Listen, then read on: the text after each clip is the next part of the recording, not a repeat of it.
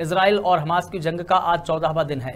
Israel लगातार Gaza पर air strike कर रहा है। इस दौरान इसराइल ने गाजा में मौजूद सबसे पुरानी Greek Orthodox Saint Porphyrius church पर हमला किया है। इसमें तकरीबन आठ लोग घायल हुए हैं, वहीं कई शव अब भी मलबे में फंसे हुए हैं, जिससे मौत का आंकड़ा बढ़ने की संभावना है। गाजा का ये चर्च करीब 900 साल पुराना बताया जा रहा है। इसे 1150 के दशक में बनवाया गया था। जंग के बीच इस चर्च के अंदर कई मुस्लिमों और ईसाइयों ने पनाह ले रखी थी। अमेरिका की रक्षा मंत्रालय ने कहा कि लाल सागर में तैनात अमेरिकी वारसिप यूएसएस कार्नी ने तीन मिसाइलों को रोका है। पेंटागन ने कहा कि यमन से हूती विद्रोहियों ने तीन मिसाइलें और कई ड्रोन लॉन्च किए हैं। ये यमन से उत्तर दिशा की तरफ़ बढ़ रहे थे, जिससे आशंका जताई जा रही है कि हूती विद्रोही इसराइल पर हमला करने की फराक में थे।